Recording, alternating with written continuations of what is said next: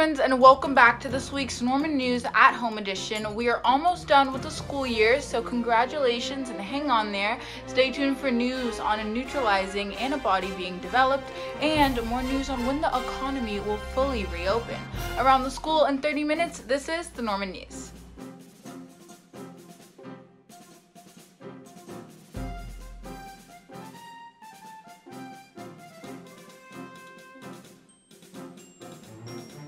Okay, so in the past weeks, we've talked about when our state will reopen. We've been waiting and waiting and waiting, and has there been any progress made? Yes, there has. According to the Los Angeles Times, California is rapidly speeding up opening up the economy. But what does that consist of? Well, considering that California has faced an immense amount of pressure to reopen up the state, so far our governor said that 53 of California's 58 counties can move into stage 4 of reopening if they file file an application with the state. Counties that meet that criteria will be able to start opening up malls and restaurants. This could also mean the reopening of free spectator sports events and even hair salons by the first week of June. Progress is being made, so before you get discouraged, there is light at the end of the tunnel. Now to Jonah with some medical news.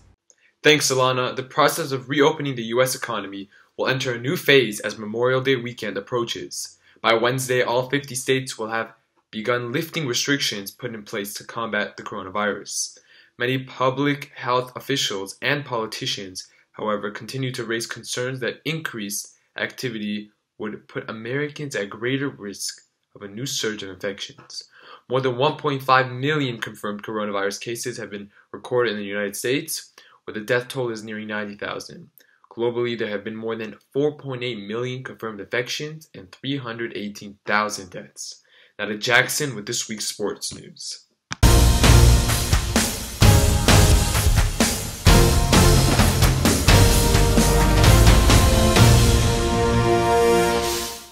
Thanks, Jonah. One of the most famous moments in Jordan's career was the flu game. Jordan put up 38 points, 7 rebounds, 5 assists, 3 steals, and a block. Jordan was said to have flu-like symptoms, which made this moment even more memorable. Many have been trying to figure out what the real cause of the symptoms were. Well, in The Last Dance, Jordan and his trainers finally addressed the issue, saying that it was a case of food poisoning from bad pizza. Apparently, Jordan was hungry the night before the game and had ordered a pizza. Five men delivered the pizza, which was strange, but Jordan still consumed the pizza all by himself, and he became sick afterwards. Some believe that the pizza might have been tampered with. Craig Fite, the assistant manager of the Pizza Hut, claims the story is untrue. Either way, Jordan was able to overcome the sickness and put on a great performance. Now to Holden with some more news.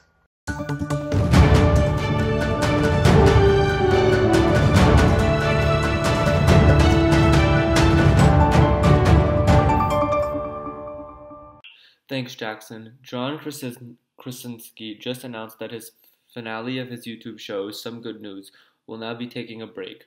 John shared a bunch of memorabilia from the show to make some ha- people happy. It is without a doubt that John is trying to keep everyone smiling through these chaotic times, especially with the news that California will be extending its quarantine until August. He also brought it. He also brought in the cast of The Office to help host virtual weddings, prom, and graduation the, for the class of 2020.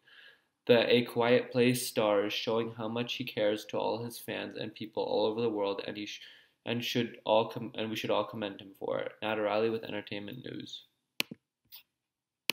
Thanks, Holden. Coronavirus is not stopping Kylie Jenner from spending money, as she bought a $36.5 million mansion in Holmby Hills. She shared the photos of the mansion via social media. The 15,350 square feet house includes cabanas, a game room, a chef's kitchen, a cinema, and obviously a swimming pool. Kylie is currently quarantining there as she did post TikToks of her and her best friend Stassie at the house. Now to Kayla with this week's movie review. Thanks, Riley. This week we're going to be talking about the movie Monty Python and the Holy Grail. While not exactly a pandemic movie, Monty Python and the Holy Grail certainly showcases the bubonic plague. Its dark humor may seem even darker nowadays, but the famed Bring Out Your Dead scene still stirs up a chuckle. I can't take him like that. It's against regulation, says the coroner, referencing a man saying, I'm not dead, I feel happy. That's all for this week. Now grab some popcorn, sit back, relax, and stay tuned tuned for this week's new movie trailer.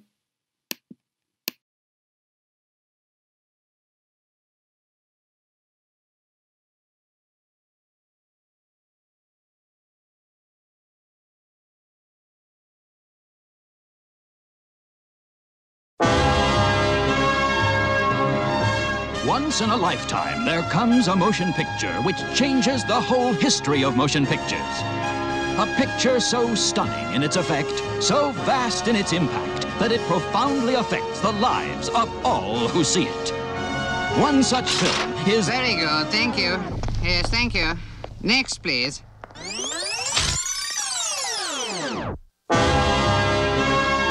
Once in a lifetime, there comes a motion picture which changes the whole history of motion pictures. Uh, Yes, thank you. Next.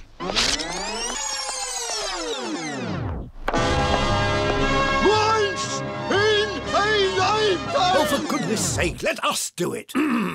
Once in a lifetime, there comes a motion picture which changes the whole history of motion pictures. Now, from the people who brought you the 39th anniversary re release of Monty Python and the Holy Grail. And are already at work on the 41st anniversary re release of Monty Python and the Holy Grail. comes the long awaited 40th anniversary re release of Monty Python and the Holy Grail. Get on with it. Yes, Back in cinemas in a special new edition. I told them we already got one. With up to 25% more peril. No, it's too perilous. We are the knights who say. Bring your friends. Carry coconut shells. Wear fancy dress. This isn't my nose, it's a false one. You could even sing along if you like. Stop that. You're not going into a song while I'm here. See it again for the first time on the big screen. Your mother was a hamster and your father smelt of elderberry. Or if you've never seen it, see it now for the first time. Or see it for the first time since you last saw it. Or if you're very old or very ill, see it for what may be the last time. I'm not dead. I think I, I could pull through, sir. Monty Python and the Holy Grail. Back in cinemas for the first time since the last time. God be praised.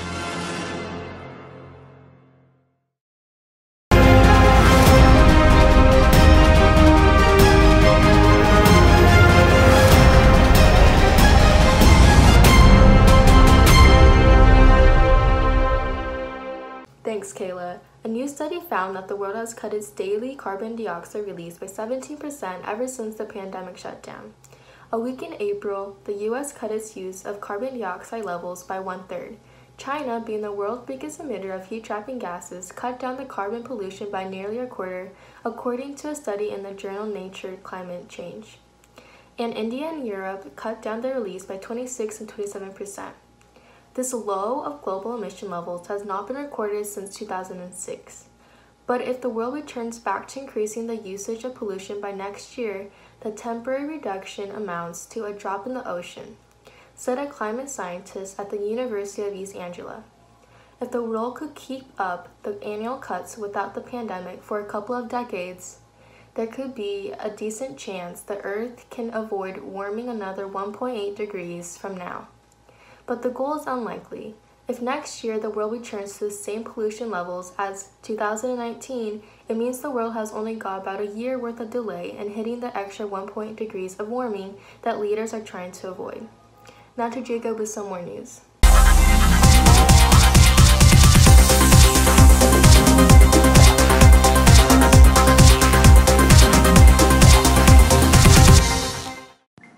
Thanks, Akira. A Roman Catholic priest in the Detroit area has taken aim to maintain social distancing during the coronavirus pandemic, using a squirt gun to shoot holy water. Photos posted on social media by the St. Ambrose Church shows the priest Tim Pelc shooting water into a car window as it stopped by the steps of the church on Easter. He wore a mask, face shield, and rubber gloves as further precautions against spreading the virus. The photos of the priest at the church have inspired many memes online. One shows the 70 year old priest amid the fires of hell directing the squirt gun at devil like figures. The priest is concerned about how the Vatican might react to the photos circulating widely on the internet, but he said he hasn't heard anything yet. The idea was to find a way to continue the tradition of blessing Easter baskets despite the pandemic. Now to Phoebe with more news.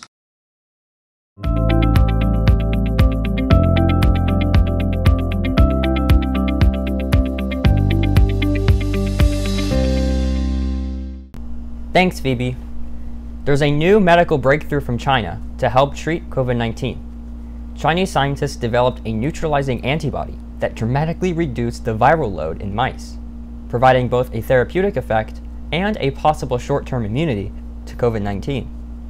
Sunny Z, the director of Peking University's Advanced Center for Genomics, told the AFP that the drug has been successful in the animal testing stage. Neutralizing antibodies are produced by the human immune system to prevent a virus from spreading into new cells. Dr. Z said his team has been working day and night searching for a therapeutic antibody. Hopefully, the global scientific community will continue to share breakthroughs and work together to find an effective treatment or a vaccine. And until then, please remember the four life saving critical steps wash your hands, social distance, wear a mask or face covering in public, and avoid taking Advil Relief. Now to Jonah with the weather.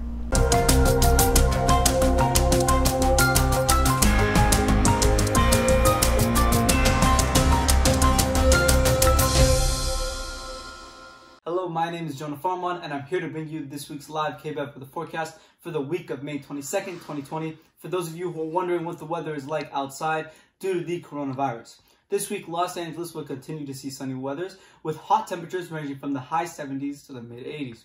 Tomorrow, Sunday, brings warm temperatures with a high of 76 down to a low of 60. On Sunday, the last day of the week, we will see sunny skies with a temperature at a high of 81 degrees. Starting us up with a new week, later on, we'll see a bit warmer temperatures. Monday, we have a high of 86 degrees to a low of 64. On Tuesday, there will be a high of 85 degrees Fahrenheit. On Wednesday, there will be a high of 84 degrees to keep things warm. Thank you so much for watching this week's live KBEV with the forecast. I'm Jonah Farman. Now back to the desk.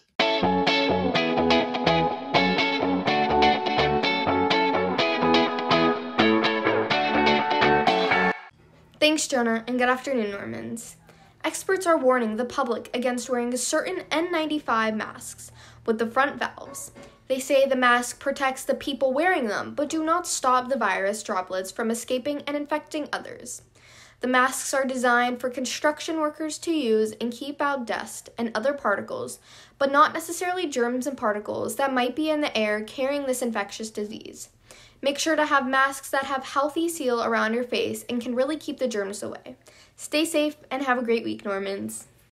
Thank you for watching this week's Norman News. We all hope that you're being safe at home. We'll see you next week.